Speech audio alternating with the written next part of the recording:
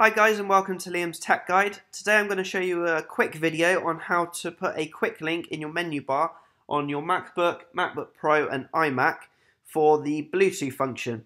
So straight out of the box you get a Wi-Fi quick link, AirPlay quick link and your battery.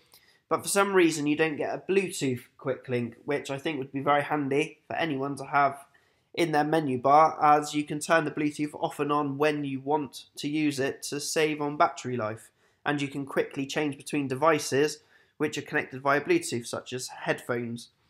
So to do this is three simple steps.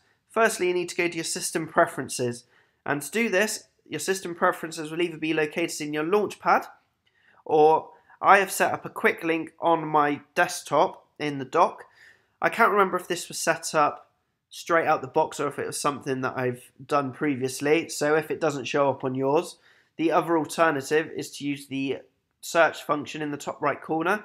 So click on that, type system, and you see it comes up system preferences, just press enter, and it loads up your system preferences. Next, you need to go to your third row down, third from the right, and you got the Bluetooth function. If you click on that, and it is as simple as pressing the tick box at the bottom of that uh, menu. Uh, show Bluetooth in the menu bar, click that, and then you can see the Bluetooth symbol is shown up in the top right corner now. I'll just close that down.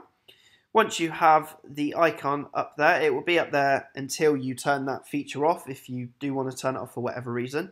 But if you do keep it on, you can now click on the quick link.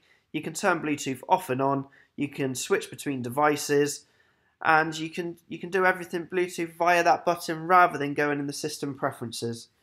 So that is the end of my tutorial. If you like this video then please give me a like rating and consider subscribing to the channel. Thank you and I'll see you in the next one.